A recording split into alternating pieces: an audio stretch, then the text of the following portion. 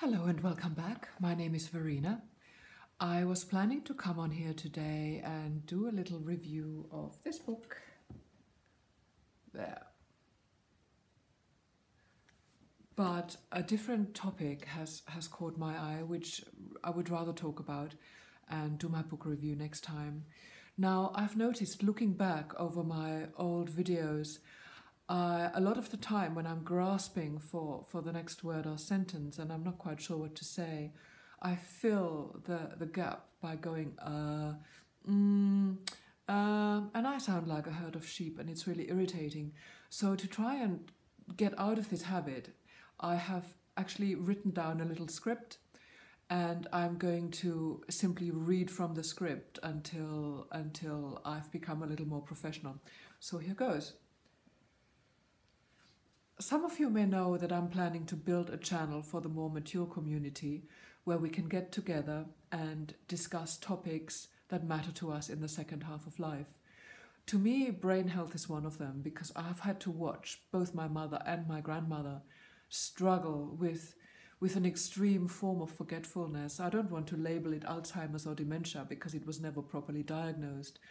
But I do know that sometimes they simply could not make connections in the brain to to memories, words, people that were stored in there somewhere, but they they couldn't access it anymore. And for both of them, it was immensely frustrating and upsetting and uh, also angry making. And so when I see some information that, that can potentially help me avoid the pitfalls of, of my brain disobeying, uh, I pay attention and, and sort of read up about it. So I have seen, I, I subscribe to a science news service. I get an email every day with reports of really it's mostly research papers, the latest scientific research. A lot of it is well over my head because I'm I'm not a scientist or a health professional, a doctor. In fact, I'm so bad at sciences. I nearly I was nearly kept back for a year because my my maths and chemistry were so poor that uh, it was only because I was really really good in other subjects that a sort of a teachers conference decided to sort of shove me into the next year. So I have I have absolutely I don't come from a place of being qualified of talking about science, medical health issues, but I can read I can read research. So I'm simply going to read this today. So today I would like to talk about the connection between the herpes virus family, which is shingles, cold sore, chickenpox, etc. Probably some I've never heard of, and I, I won't now sort of research in any depth. Uh, but when I found this item, which was published in Frontiers in Aging Neuroscience, I decided to simply read you the passages from it so I don't talk rubbish. Now, I have to declare an interest since I, I used to suffer from cold sores as, as a younger person, and they pretty much managed to ruin my summer holidays every year. The minute the sun came out, and I would spend time in the sun and the forest and, and the seaside, I would have this crop of hideous looking, painful, weepy lumps that would take forever to go away and you couldn't cover it and it looked awful and I, I felt really unhappy and self-conscious and you, you kind of you feel like typhoid mary and you have to be aware that other people are kind of going and don't want to catch what you have. So it's not a nice thing to have, particularly for a young person. So uh, it took a while until I realized that there were actually antivirals that you could take to prevent to prevent a, an attack, a relapse. And I went to my doctor and she prescribed something which is very commonly available. It's, it's an old drug that's been knocking around for ages. It is quite harmless, apparently. You can take it for years without, without any problems. I certainly haven't come across any drawback.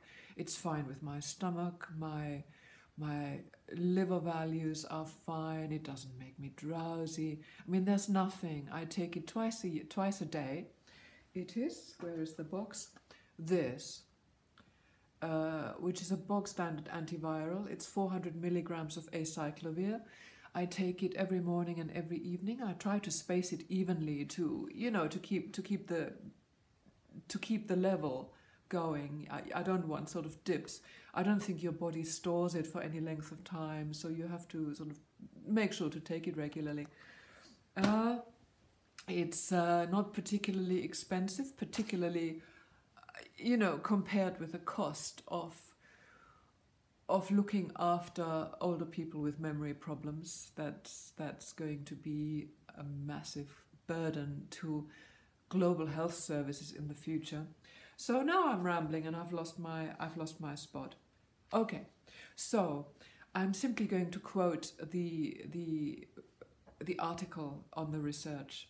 Herpes viruses are the dreaded gift that keeps on giving. They remain lifelong in our neurons and immune cells, reactivating and resurfacing in characteristic blisters when we are run down by stress or illness. Most people are infected by herpes simplex 1 by the time they reach old age. Then I'm, I'm skipping a whole lot of sort of medical bump and details about the results of some studies. And I'd like to pick up here. The studies found that HSV1 causes protein deposits characteristic of Alzheimer's, plaques between neurons, and the tangles inside them.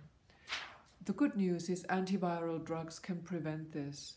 Now, the results of these studies relate to people with severe herpes infections, and Joe Ordinary, like me, who sort of gets gets regular outbreaks, but it's you know it's sort of normal runnings really.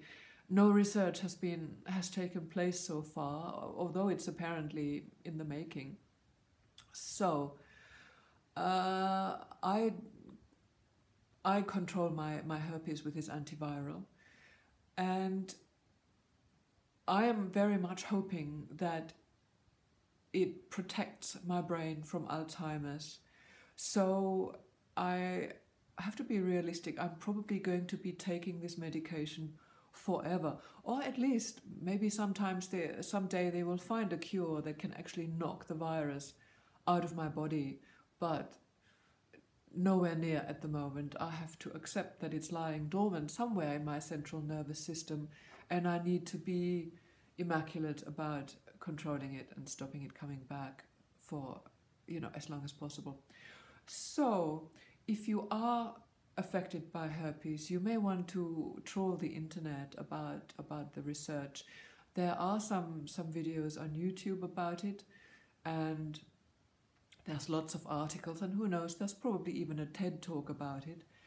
So I will keep a beady eye on, on items relating to this because it's simply going to affect me forever. And if I find something new and fascinating, I will pop back up here and, and, and tell you about it. And uh, next time I will post the, the book review. And Thank you for listening and see you next time.